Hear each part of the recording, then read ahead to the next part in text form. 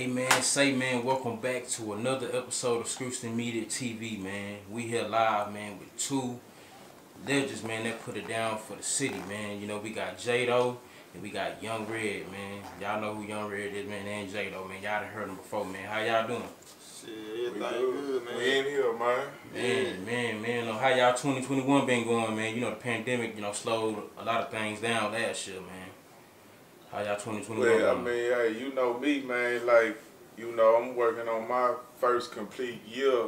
You know, actually being, you know, the uh, when as far as this 2021 to be my first whole year actually did being free. You know, after 13 years, I was to be a year I've been out, but you know, so I haven't even been out a whole year yet. But right now, it's a blessing just to be able to just you know go January to December Right. free. You know what I'm saying? If that's God's plan, but uh, that's what it been for me. Like I, I I've been through the worst of situations, so my my some of my worst days, some of your worst days free would would have been a good day for me locked up. So True you know, that, true that. it's a blessing, man. Yeah, man. I tell you, like 2021, man, like it's business as usual, man. It's just another number to me, man. Like I say, as long as I'm here, it's another gift for me. Just waking up, being able to get to the money, a whole, just a whole another day. Um, it's always, uh, you know, time to improve and, and get right. So we really just been working on music and branding the clothes, the Future Rich merch, and uh, really that's it. Yeah, that's it, man. Same thing, different day. Nah, real Yeah. talk, real talk, man. Um, of course, know what I'm saying. I know who y'all is. You know what I'm saying. I'm big fans, man. I grew up on y'all music, man. Yeah. Big fan, man. Uh, but for the ones that don't know, you know, the younger guys, man. Let's let's start off from the beginning, man. Uh, let's let everybody know where y'all from and outlet in the city. Well, you know what it is, uh, Yung Redd, you know, Future Rich all day, Sunnyside, Texas, you know what I'm saying? Uh, switch out to gang, slow line bang, all that shit. So I got a long history, man. Just do your homework, get familiar. If you want to be part of Houston culture, you got to know the origins and where, where it started, where it's going. Yeah, like, cause if he did his resume, we'd be Yeah, here all all day. day. Well, me, you day. know, uh, I'm, I'm gonna give him, cause mine to get long too. You know, just long story short, you know, I'm born in Sealy.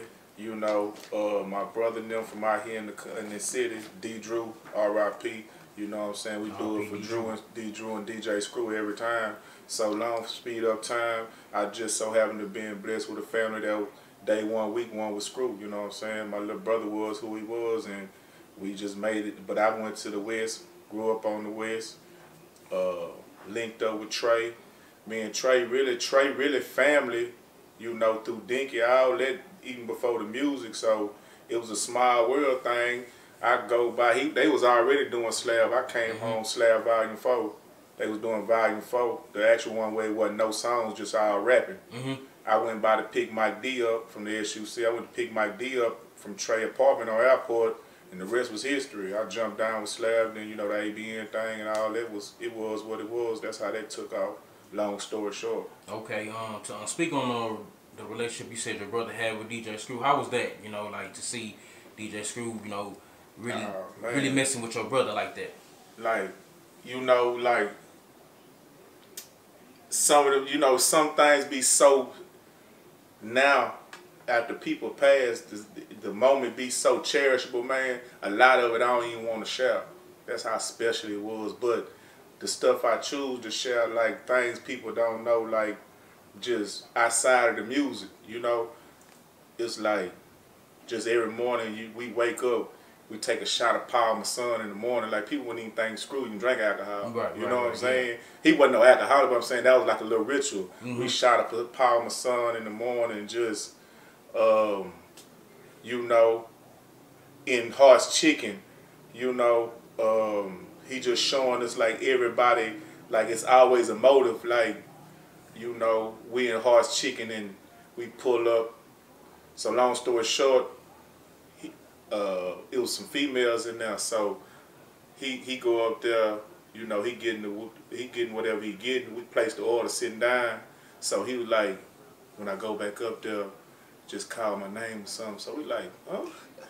So he like, you know, he talks so low, you'll miss it. I'm Yeah. like, so he go back up there. Drew like, look I screwball, man, get some ketchup. So the girl like, hold up, cause he they couldn't see the piece. He had the piece covered Yeah. up. You know what I'm saying? So long story short, they signed my dollar, whoop whoop, this that and the other. Cause when you hang around people like Red can contest, like when you in the mix and you hang around people, you forget that they kind of stars to everybody else. Mm-hmm. You know what I'm saying?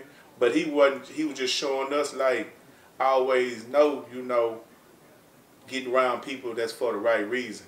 You know what I'm saying? Like once you get a certain level of status, it's hard to weed out who really there for real love. You know what I'm saying? That's one thing he always taught us, man.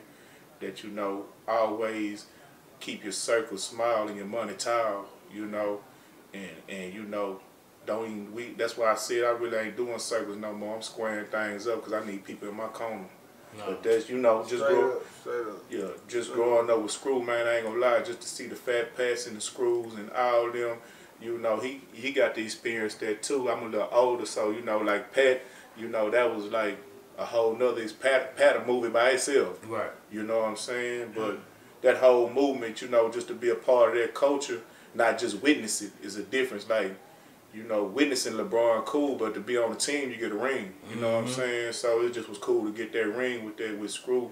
You know, Robert Earl Davis Jr. Like that was my family. Like you know, he gave us a lot of games, so I appreciate that.